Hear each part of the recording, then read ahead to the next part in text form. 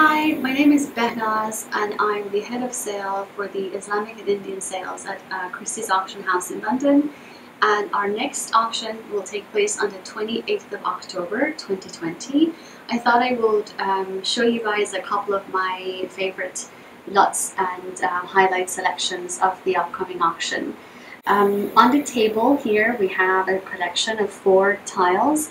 They're known as Iznik tiles because of the town they were created in, which lies about 90 kilometers southeast of today's Istanbul. Um, Iznik tiles were used to decorate both interior and exterior um, of architectural elements such as schools and mosques. And today, uh, if you go to Turkey, you can see so many of them in situ surviving in monuments from the 16th, 17th century, or even earlier. Um, they are wonderful examples of Islamic art. They have so much color, they have beautiful patterns. They are dated according to the colors that were used because every few decades the uh, artists managed to figure out how to include different um, colors within the um, design program. So that makes it easier for us to know when they were made um, quite precisely and even little fragments that have survived. For instance, this example, um, these are even precious because they're still extremely beautiful, but it's only a fragmentary example. This was actually mounted in Europe. Um, in the 20th century, it belongs to Henry Jacobi collection, who was a wonderful collector of Islamic art and carpets. And um, yeah, they have many different designs and patterns.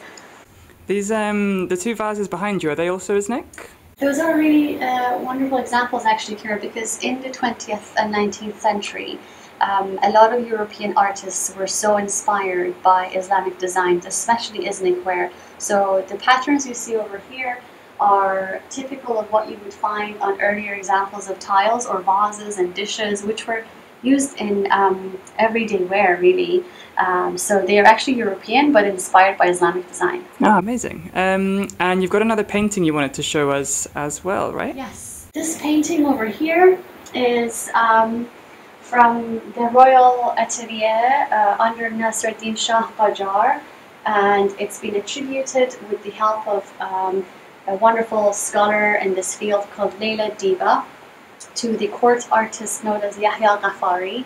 Yahya was um, the son of Sani al-Mulk. His works are exhibited in Iran in Gulistan Palace. There are very few known examples of his work that have come up for auction, but this particular scene is beautiful because if you have a look um, at the way he's used the perspective and at the scene that he's depicted, the use of the chandeliers, this kind of European style of painting, all of this was inspired by Nasruddin Shah's visit to Europe, especially his first visit to the Versailles. And you can actually see the king right here in the corner, um, kind of taking a look at the display that they have um, arranged with all of the courtiers and attendees bowing in respect. If you look at, um, there's a print of his visit in Versailles um, in the 19th century, which has very similar um, interiors and you can see how he was so uh, inspired by Europeanized ways of dining. So, do you know where um, where the scene is?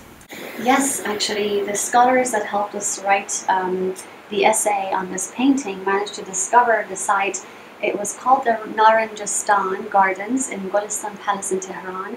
Sadly, it no longer exists. It was demolished, but um, it was inspired by the Shah's visit to Europe, one of his first visits after 1873. The memoirs of one of the court's autobiographers who actually describes the exact location, the use of different trees, the, the windows, the tile works, and the fact that it had depictions of European ladies um, all throughout the walls, which you can see kind of here. It's got such details going on. The more you look, the more you see.